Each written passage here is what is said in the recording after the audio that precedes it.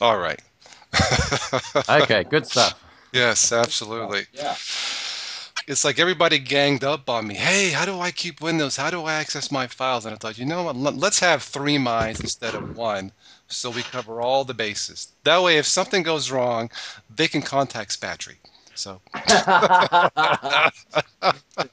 Nice. All right, I'm going to have to run, gentlemen. Thank you once again. Uh, I'll catch you next time. Thank you, IG. Yes. Thank Yeah. you. IG.